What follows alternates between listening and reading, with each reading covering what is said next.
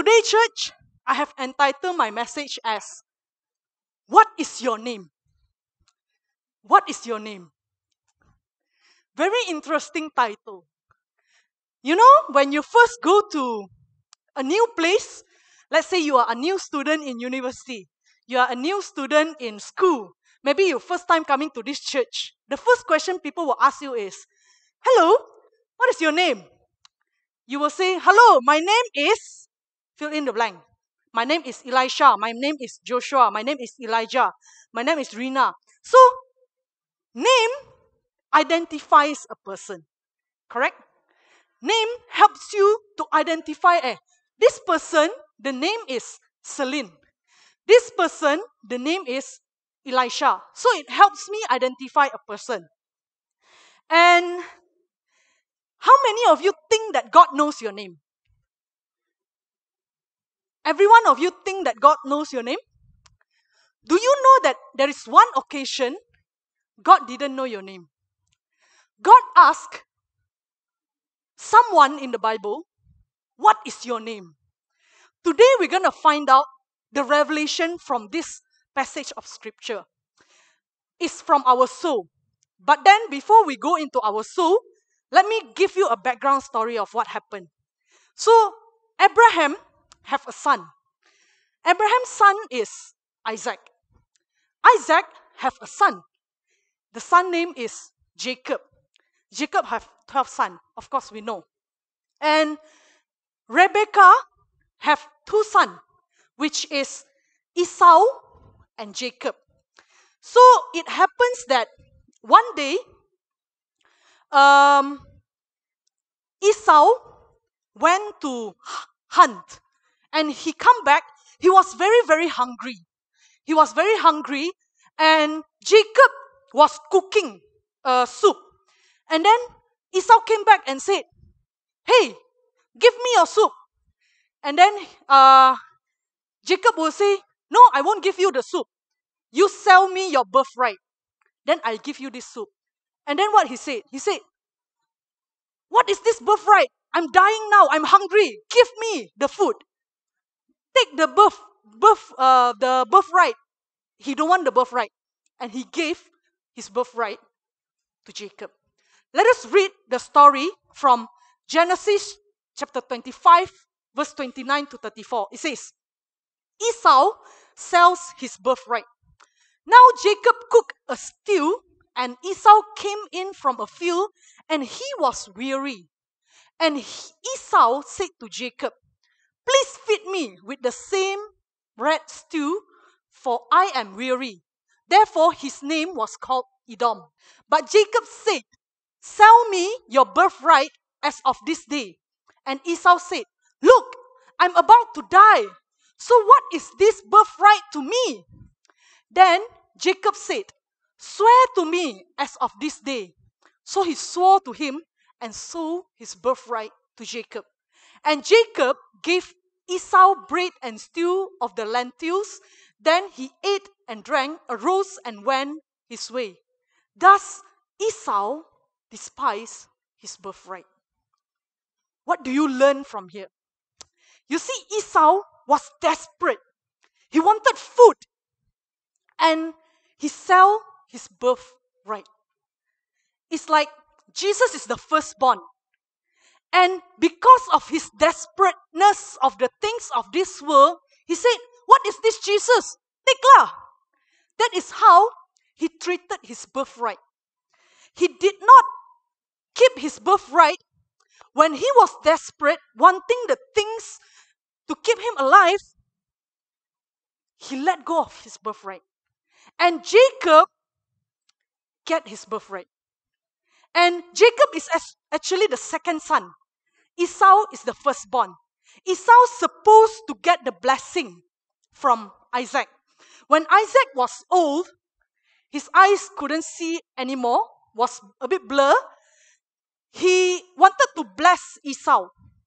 One day, he called Esau and then he said, Esau, come here, come here. My firstborn, come here. I want to bless you today. Then he came and then he said, Why not you make cook me a soup also? And then he said, Okay, I will go and hunt. So he went and hunt, and Rebecca, the mother of Jacob and Esau, heard, overheard the conversation between Esau and the father. And then Rebecca loved Jacob more. And then Rebecca said to Jacob, Hey, I heard that your mother, I heard that your father is gonna bless Esau. I know what your father like. I know what your father loves to eat. I know what to cook. You do as I say. Do as I say. So Jacob said, How can it be? I'm such a smooth, smooth skinned person. Esau is such a hairy person. When my father come and touch me, of course he will know that I am Jacob. And instead of getting his blessing, I may get his curse, he said.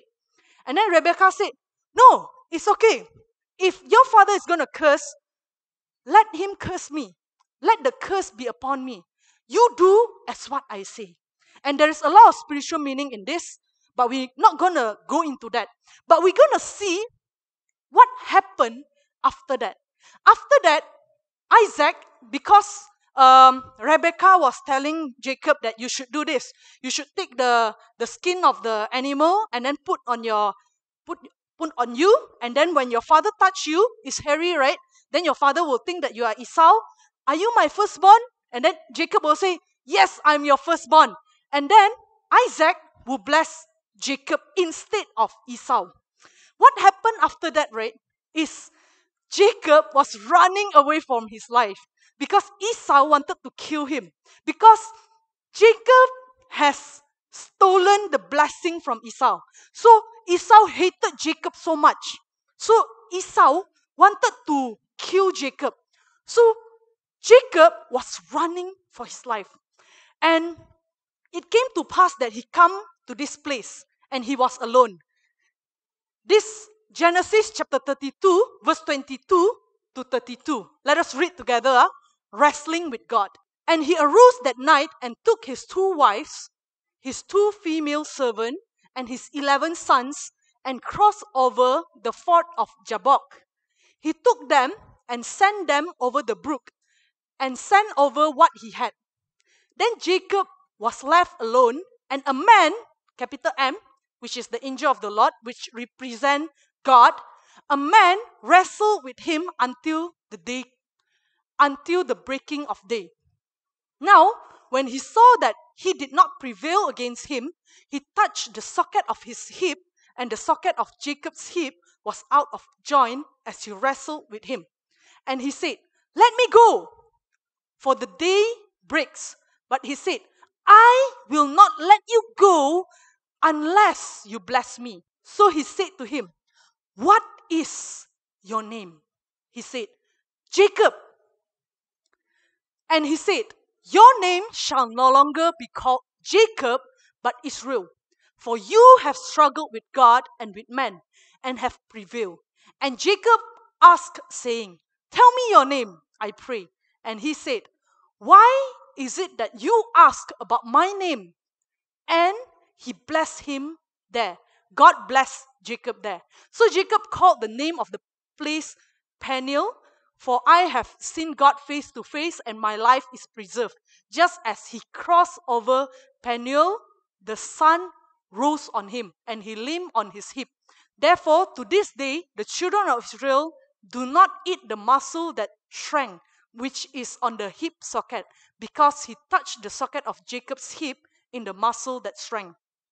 So, in this story, we can see that the title of today's message is actually taken from this story, where God asked him, What is your name? What is your name? Today we're going to discover about that. But before that, I just want to share a few things.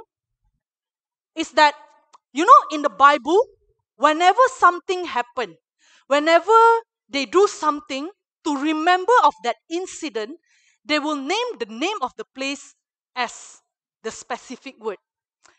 Let us see, uh, even in this chapter itself, Genesis chapter 32, it also have two places that Jacob named the place based on the thing that happened.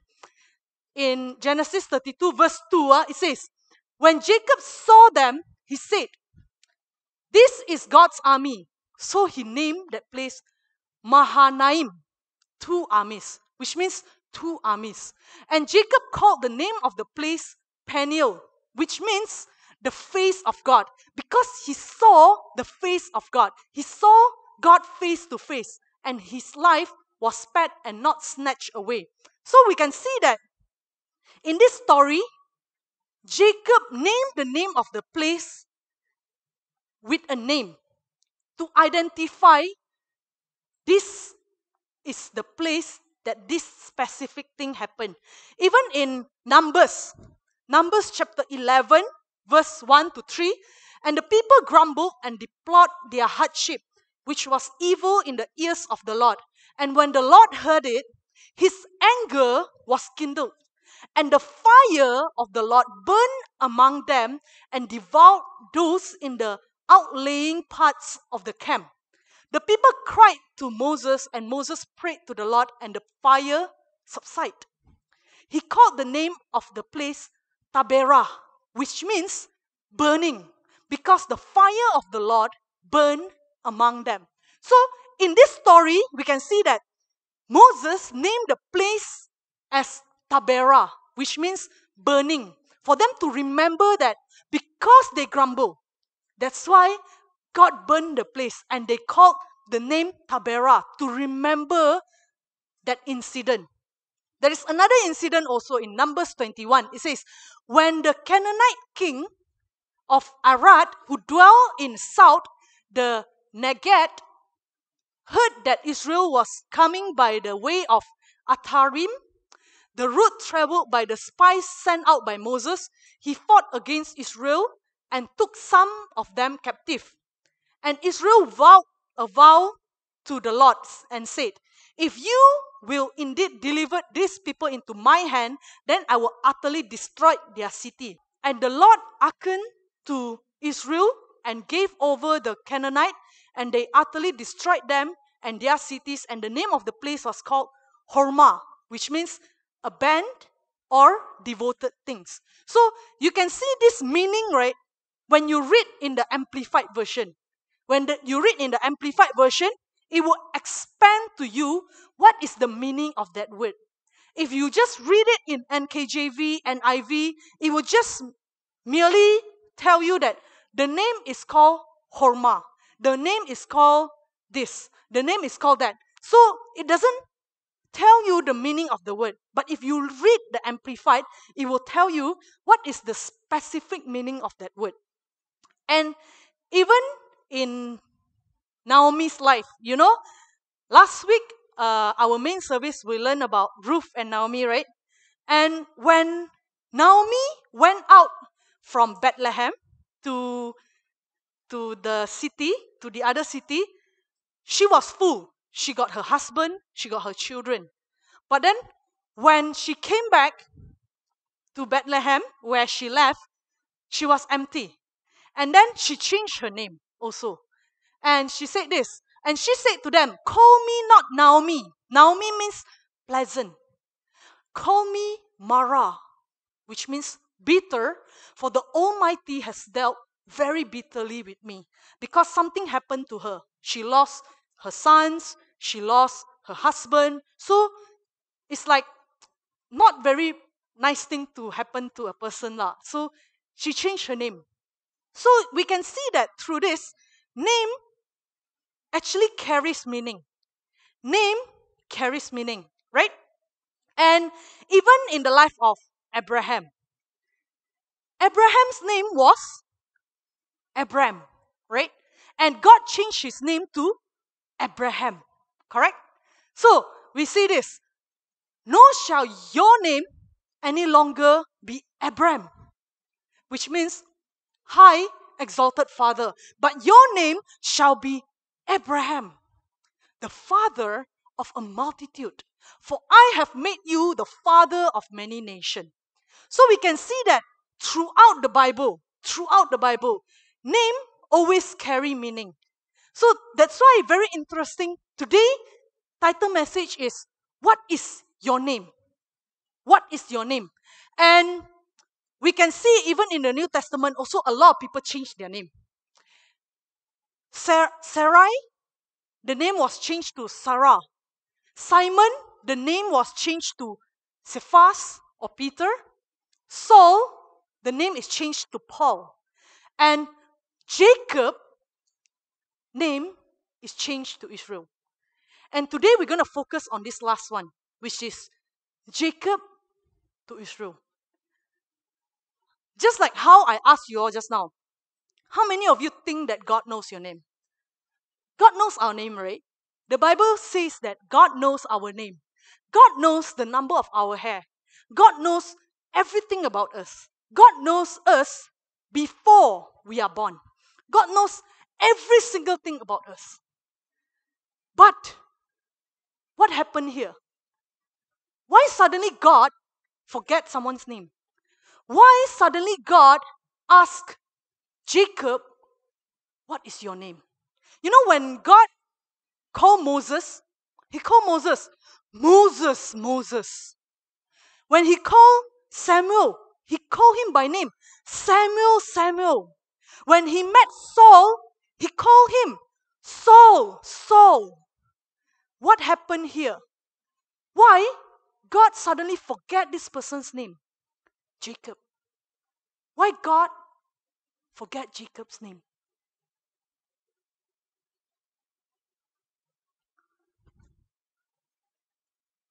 Let us go back to our main scripture. We will focus only on these verses. Pay attention, huh? This is what God said.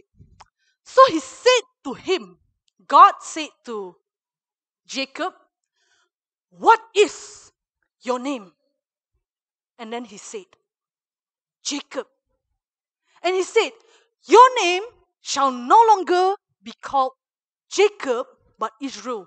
For you have struggled with God and with man and have prevailed. And this is the version, New King James Version. When you read New King James Version, it will just tell you, My name means Jacob. But what is God teaching here? Let us read in Amplified, then I'll explain to you.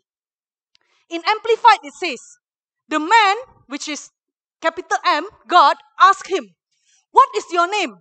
And in shock of realization, whispering, he said, Jacob, which means supplanter, schemer, trickster, swindler. And he said, Your name shall be called no more Jacob, supplanter, but Israel, contender with God. For you have contended and have power with God and with men and have prevailed. What God is saying here is God want the word to come out from you. God knows you are a sinner. But he want you to admit that you are a sinner that cannot help yourself. You know, Jacob, he was a cheater. Just now we read in Genesis 25, he stole the birthright of Esau. Esau supposed to be the firstborn, but because of Esau's desperate situation, Jacob took the advantage and asked him to sell his birthright, and he cheated Esau. His supplanter means cheater, liar. He's a liar. God knows all of us. He knows every single detail of us. But to be safe, we have to admit before God God, I am a sinner. I need you. Only a doctor, only a sick person needs a doctor. A healthy person doesn't need a doctor. A healthy person, I don't see a healthy person walk to the hospital and ask the, the doctor to check me, check me. No, they don't. Because they are healthy. But a sick person know how to seek God. You know, Jacob was so desperate. He said, I will not let you go until you bless me. That's the attitude that we should have. I will not let you go until you give me this gospel. I will not let you go until you reveal to me the revelation of the gospel. What gospel? The gospel of God's righteousness. His baptism, death, and resurrection that has saved you so beautifully. If you still have not understood this, come like Jacob. When God asks you, What is your name? Tell God, God, this is my identity. My identity without you, I am a sinner. I'm a sick person. I am someone who deserves to die because of the sin that I commit. I don't deserve to live eternally. But I believe in your righteous work. I believe in the baptism of Jesus. Where John the Baptist lay his hand, that is where all my lifetime of sin will pass unto Jesus. And when he walked three years, I walked with him. And when he died, I died with him. When he resurrected again, I have a new life to live. Can you believe that or not? That is all that God wants you to believe. God knows what? God knows everything about us. He don't need anything from you. He just wants you to come to your realization that you cannot save yourself. He wants to save you. But he first wants to ask you, what is your name? Are you a righteous person in yourself?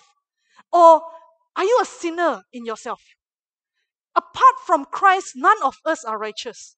We have to come to this place. Just like Jacob, he admitted that my name is Jacob.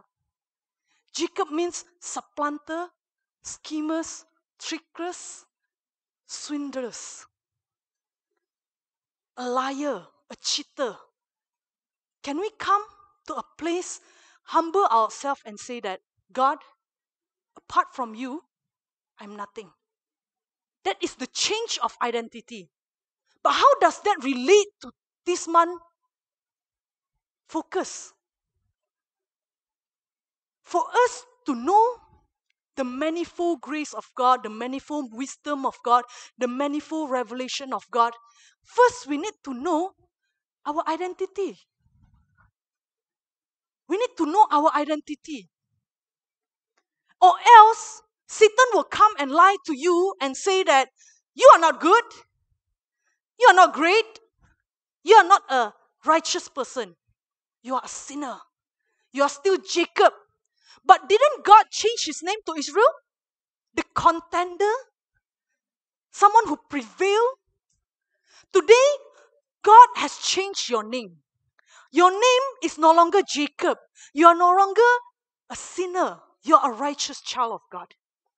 But at times, we will still remember our old name. Because why? Because we have that name since we are born. We are born as a sinner, right? Today, let's say, I said, okay, Elijah, I changed your name to Daniel. From today onward, I will call you Daniel. So whenever I call Daniel, it's not Elijah looking at me. Daniel will look at me. Because Daniel is Daniel's name. That is your new name. Correct? So we have to get used to our new identity. Does it take time? It takes time. It doesn't happen overnight. Today I'm sinless and righteous. And I'm always sinless and righteous. When thing hits us, when something happened, when our friend betray us, when family issue, is our identity still firm that I'm a child of God? I'm sinless and righteous. I'm Israel. I'm no longer Jacob. Yes, I used to be Jacob, but because I admitted that I'm Jacob, I'm a supplanter, I'm a cheater, I'm I have nothing good in me, that's why God changed my name.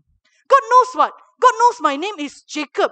Why he need to ask me what's my name? He just want that word to come out from you. He want that word to come out from your mouth to admit that you are a sinner that cannot save yourself. That's all he need. He don't need anything from you. You know the first thing that we need to tell someone when you preach the gospel is you are a sinner. It will be hard to do because no one likes to be told that they are sinner. But that is the criteria because only a sick person needs doctor. If someone is so healthy, for what? Jesus for what? Jesus has no role in your life. That's why the first thing is to tell them that you are a sinner. When you know that you are a sinner and you have been made righteous, then you will appreciate your righteousness. The righteousness that God has given to you. Because you know how bad you are. You know that apart from Christ, you have nothing good. And because you know that, the righteousness of God becomes so valuable to you. The righteousness of God become everything to you because you know how sinful you are. Because you know that, wow, I'm such a dirty person. Uh. This kind of thing also I can do. Uh. Of course you can do. In our flesh, even after we are born again, we can still do what the people of the world do when we don't walk in the Spirit. That's why walking the Spirit is so important. Reminding ourselves again and again our identity. If we forget our identity, then we cannot experience the manifold grace of God, the manifold wisdom of God, the manifold revelation of God, the manifold mercies of God, the manifold works of God. Because Satan has lied to us. Your name is still Elijah. Your name has not changed. Satan can still lie to Jacob. Your name is not Israel. Your name is Jacob. You're still a cheater. You're still a liar. God wants us to have this new identity. When we have this new identity in Christ, then we can reign with Him. We are in the quarter of reign. We can only reign with Christ when we know our, our identity. When we know our identity, we can reign with Christ. Who are you in Christ? I showed this slide to Lifeline before. Who are you in Christ? Do you know who you are in Christ? Who are you in Christ? Are you still a sinner that deserve hell? Are you still a cheater? Are you still Jacob? Or is your name changed to Israel? Has God blessed you? You know, Jacob was so desperate. He said, No, I will not let you go until you bless me. That's the attitude that we should have towards God. God, I want to preach this gospel to my friend. Help me. Use me as a vessel to spread this gospel. Are you desperate enough and tell God, God, I will not let you go until you make this happen? People are dying every single day. What are we doing about it? Are we so selfish that we have the medicine, we have the answer, but not sharing it? We have to start sharing this gospel. If you know that this is a true gospel, the gospel of God's righteousness, which considered Jesus' baptism, death, and resurrection, if you know that this is the true gospel, you will go all out, all out to spread this gospel. Because you know, if people do not have this gospel, they cannot get saved. If you really, really believe. That's why for us, to live is Christ, no longer we who live. The Bible says in Colossians if then you were raised with Christ, seek those things which are above, where Christ is sitting at the right hand of God. Set your mind on things above, not on things on the earth. For you died. You died. And your life is hidden with Christ in God. Today we are born again we know the gospel of God's righteousness. We have been raised, the Bible says, we have been raised with Christ. It's no longer we who live, Christ living in us.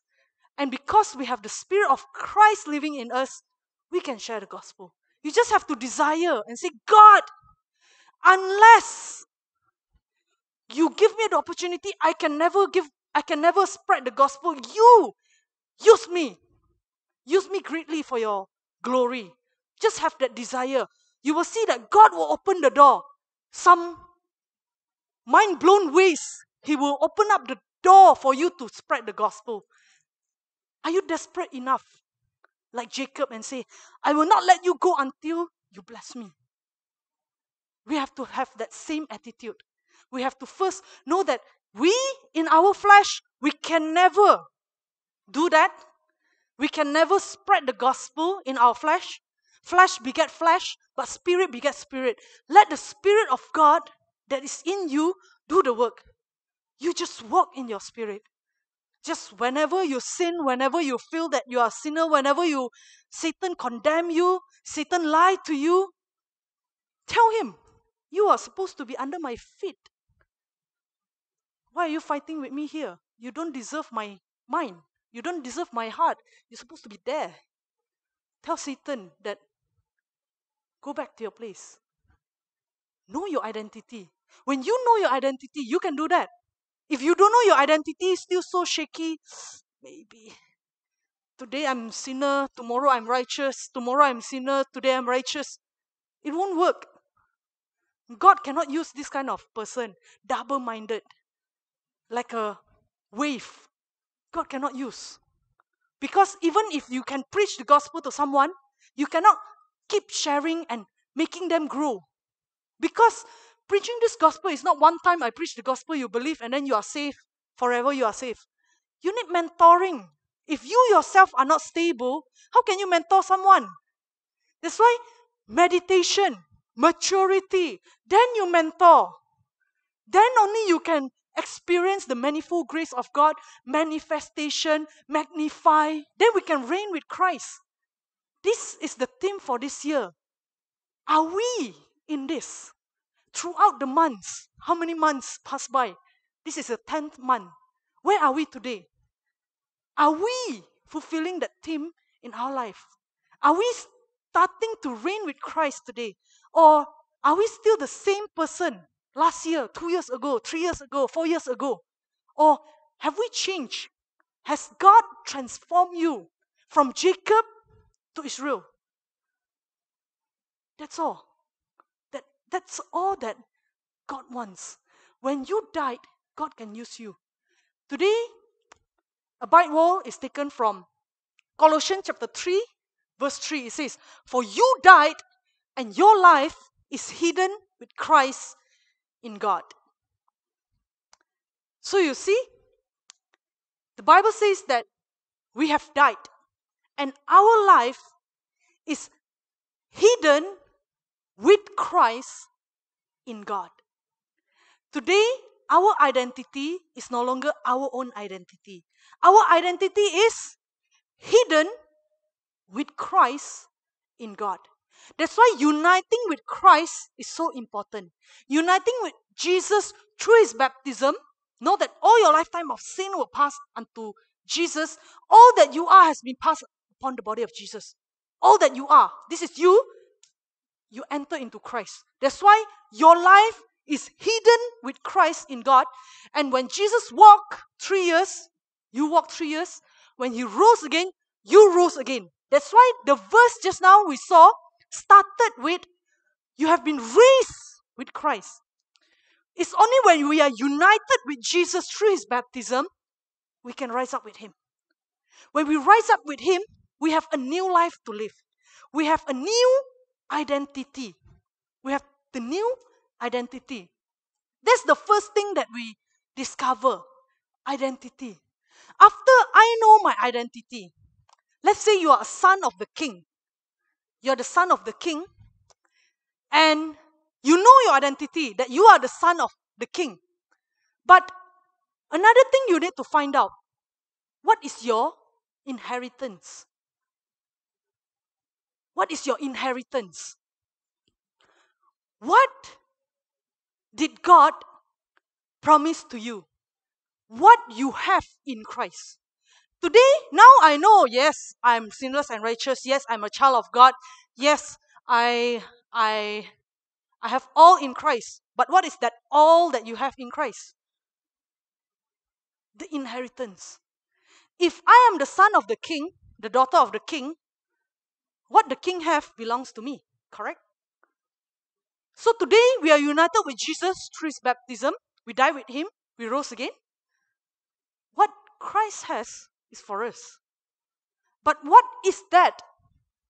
Today, for us to enjoy reigning with Christ, we need to know what is the inheritance that God has given to us.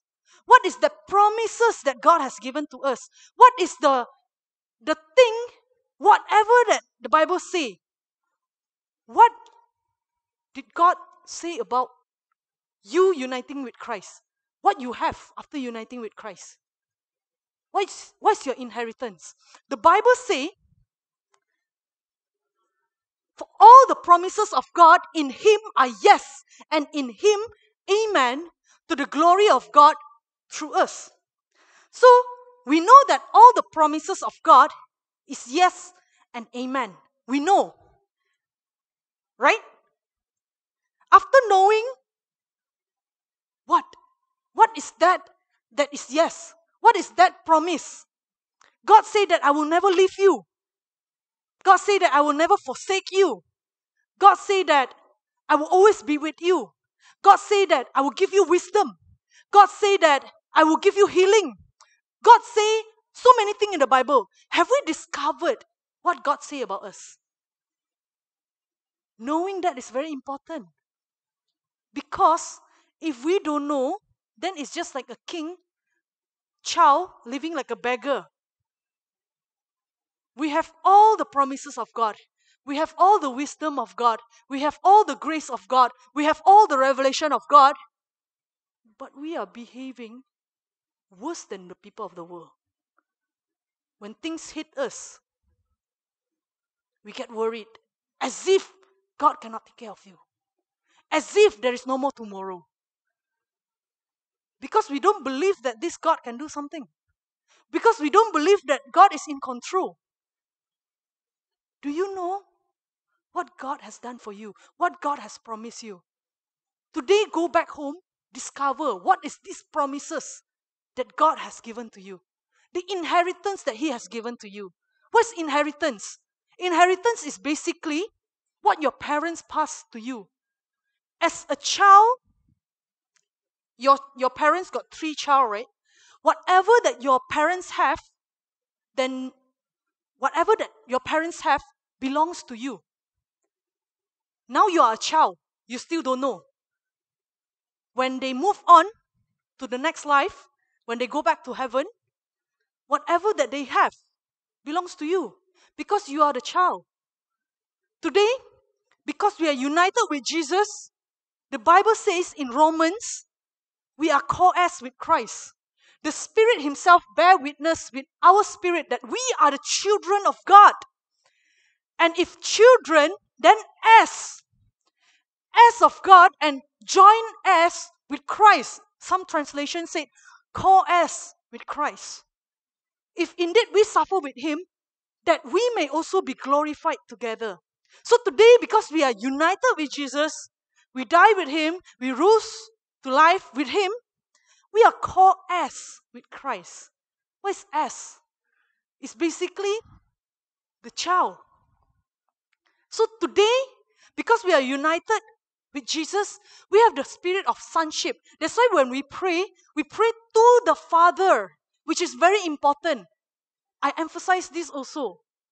Some of you, I also call some of you Pray to the Father. This is very important because the spirit of sonship is in you. If the spirit of sonship is in you, you don't pray, Lord Father, God, God, Father. No, you pray to the Father in Jesus' name. This is a very powerful prayer because we have the sonship. We are co-heirs with Christ. Whatever that belongs to Christ belong to us we are called as with Christ. Amen?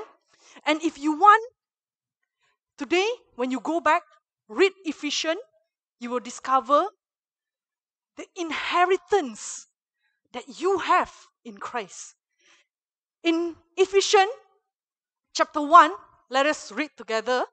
Ephesians chapter 1, verse 11 to 19, it says, In him also we have obtained an inheritance being predestined according to the purpose of Him who works all things according to the counsel of His will, that we who first trusted in Christ should be the praise of His glory.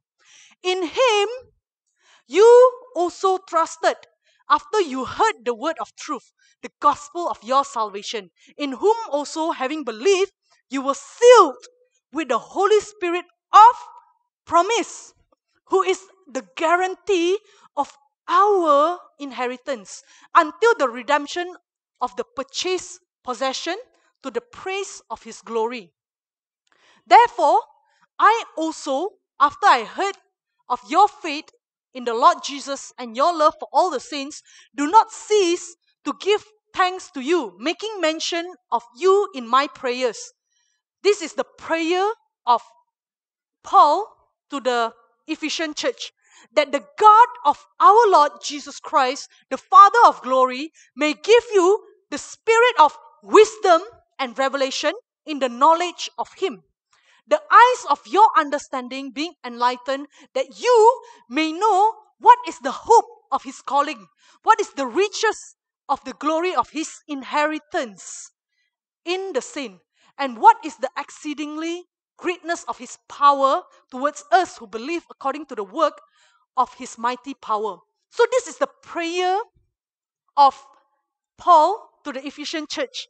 He said, I pray that God will give you the wisdom and revelation. Let the eyes of your understanding be enlightened, that you may know the hope of His calling, the riches of the glory. Pay attention to this of His inheritance in the saints. In the saints, not in the sinner.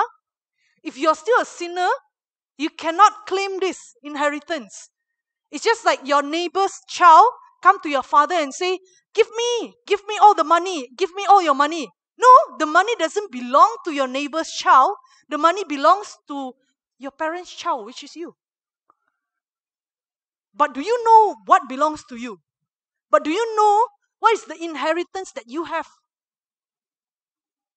Sometimes we so desperately wanting something from our parents. I want new phone, I want new car, I want new house why not we claim from our Heavenly Father first?